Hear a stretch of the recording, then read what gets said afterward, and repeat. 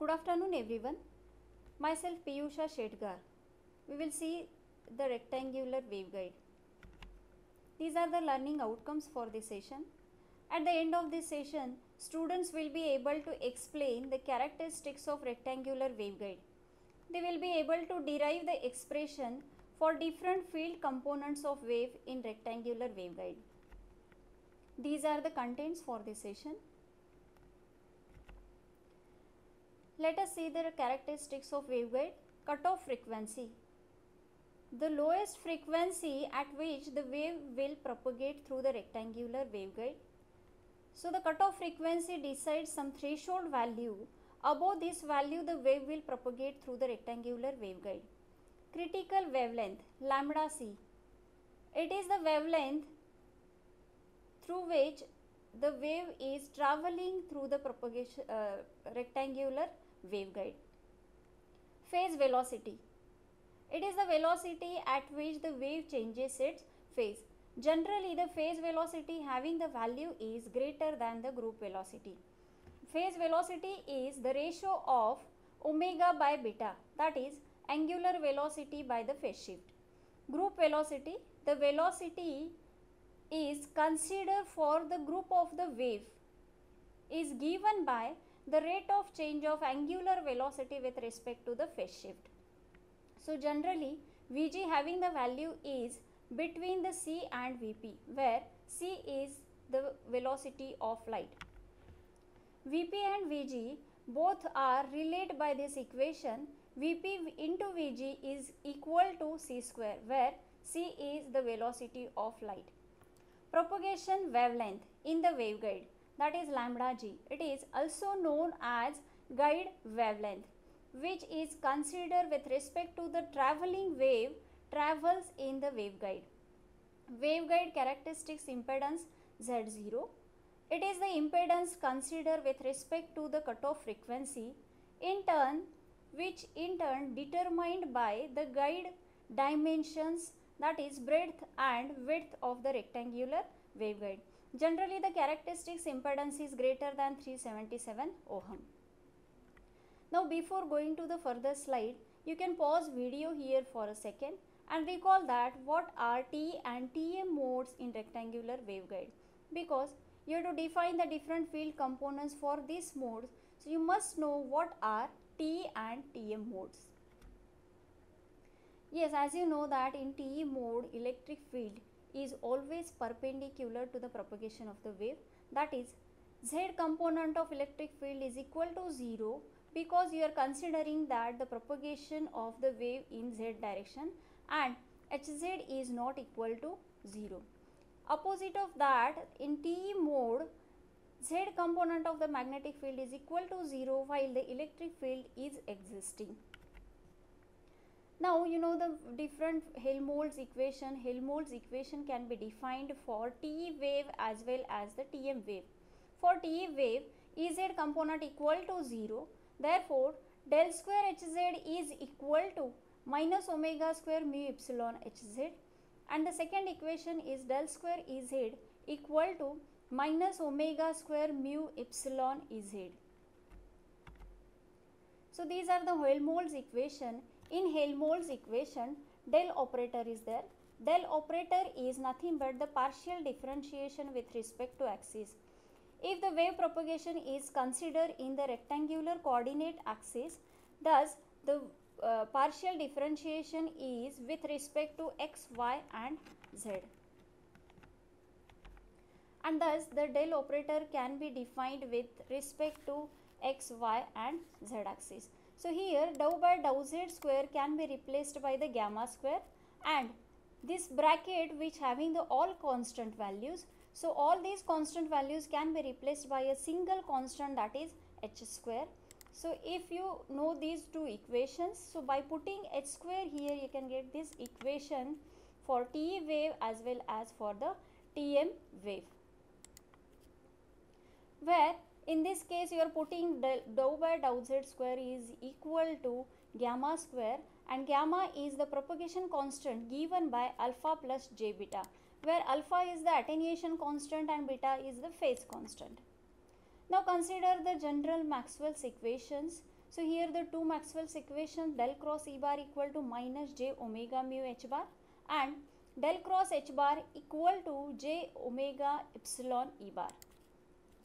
Now consider the Maxwell's first equation here del cross E bar is nothing but the curl operator and this curl operator can be written with the determinant form like this. Again the wave propagation is in rectangular coordinate axis and therefore the differentiation is with respect to x, y and z whereas the right hand side as it is. So solve this determinant for this x, y and z component. So this is the equation number 3 for the x component. Similarly, you can write the equation for y component and the z component. Thus, you are getting the equation number 4 and 5. Now, consider the second Maxwell equation. Again, you have to solve this second Maxwell equation by curl operation of h bar Again you can write the equation for x bar, y bar and z bar component and give that equation number 6, 7 and 8. Now from the equation number 4 which is written already in previous slide. So here in equation number 4 the y component of magnetic field is existing. So from this equation you can find the equation for this y component of magnetic field by transferring this j omega mu at the LHS side. So here this is the equation and you can give that equation number as a 9.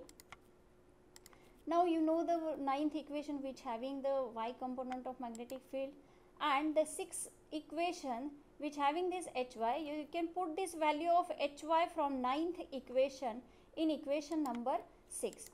So by putting this value getting the equation number 10. Now in this equation number 10, you can arrange, rearrange this equation number 10. Thus, you getting again at the RHS side this bracket which having the constant. Again, this constant can be replaced by h square and rewrite that equation. Here, Ex bar component can be find by uh, transferring this h square at the LHS side. Thus, you are getting the equation for the x component of the electric field. Similar to this, you can find the other components, field components for magnetic field and the electric field. So, these 11 to 14 equations give the general relationship for the field components within the waveguide.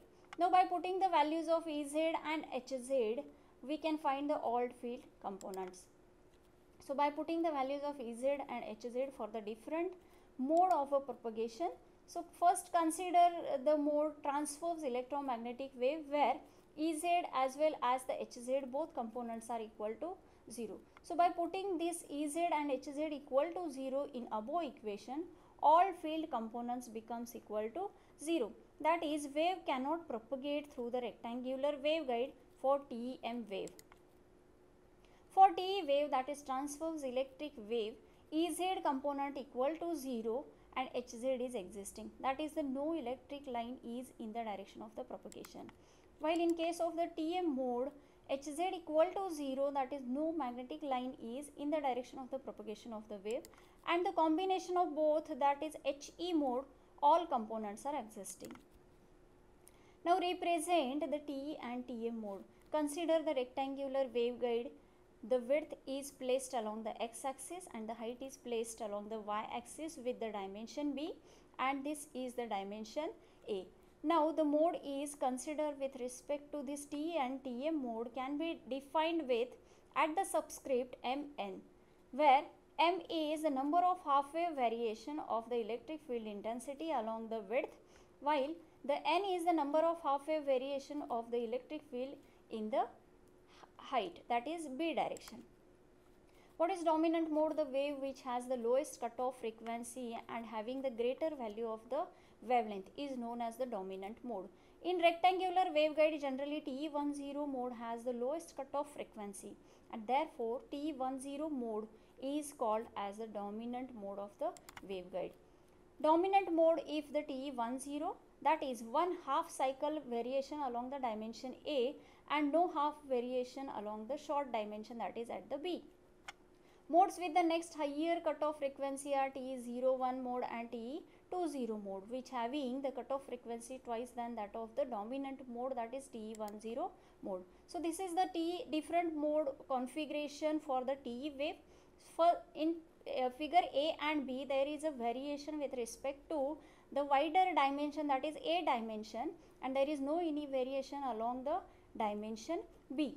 While in case of C and D there is the half wave variation along the A as well as in B direction. So here this is a TE10 mode and TE20 mode. In TE20 mode two half wave variation and therefore it is known as a TE20 mode. These are the references for this session.